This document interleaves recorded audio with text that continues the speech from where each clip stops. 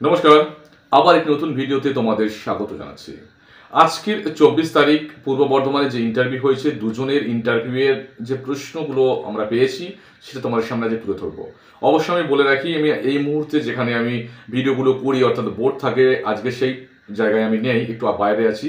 তো আমি আজকের মুখেই সমস্ত প্রশ্নগুলো তোমাদের বলে দিচ্ছি, অবশ্য উত্তর সমেত, তোমরা একটু শুনে নাও। প্রথমে যে প্রশ্নটা করা হয়েছে আজকে কিন্তু আমি একটা প্রথমেই শুরুর আগে একটা কথা বলে নিই।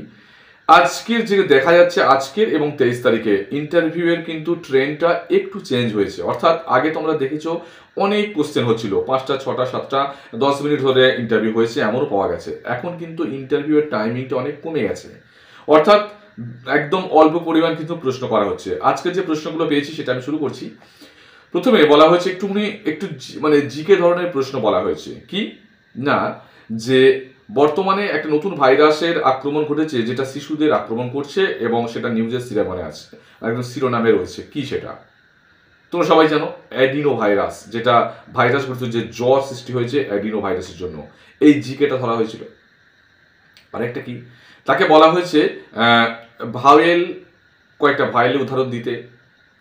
সবাই জানো A E I O U preposition উদাহরণ দিতে বলা হয়েছে ইন অন ইনটু এই যে প্রিপোজিশন টু এগুলো কিন্তু বলা হয়েছে। পাশাপাশি কি বলা হয়েছে?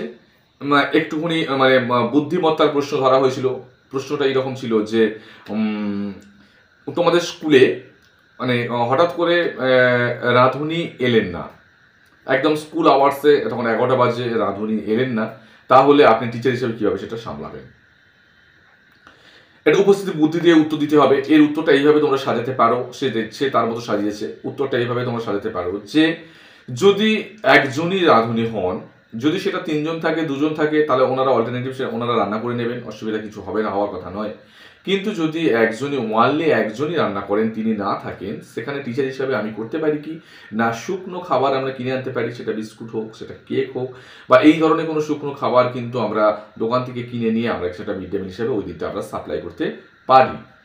এরপরে বলা হয়েছে যে, খেলাচ্ছেন আপনি, খেলাতে গিয়ে কারও মাথায় একটু লেগে গেছে। আপনি কীভাবে সেটা সামলাবেন? সেটা উপস্থিত বুদ্ধিতে করতে হবে, কীভাবে সামলাবেন? যদি সাধারণ লেগে যাওয়া থাকে, তাহলে আমরা সাধারণ যেটা ফার্স্ট এড দেওয়া হয়, অর্থাৎ প্রাথমিক চিকিৎসার ব্যবস্থা করব।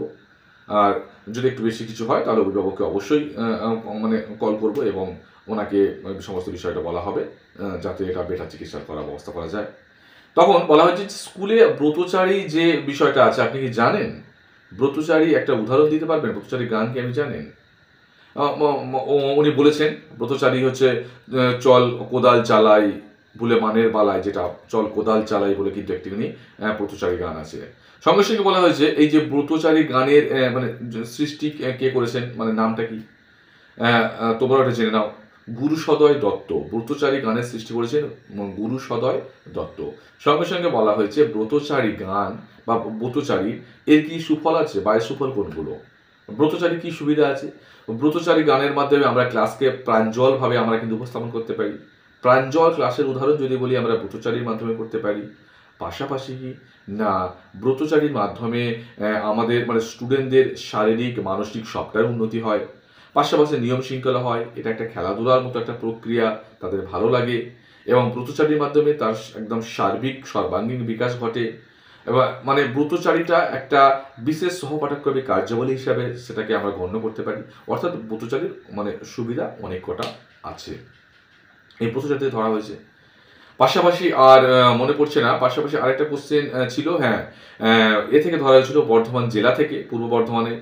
যে পূর্ব বর্ধমান বা বর্ধমানের নামকরণ কেন হয়েছে? ও অবশ্যই বলতে পেরেছে যে শেষতম তীর্থঙ্কর মহাবীর বর্ধমান ধর্ম প্রচারের জন্য এসেছিলেন বলে নামটা সেখান থেকে পূর্ব বর্ধমান এসেছে।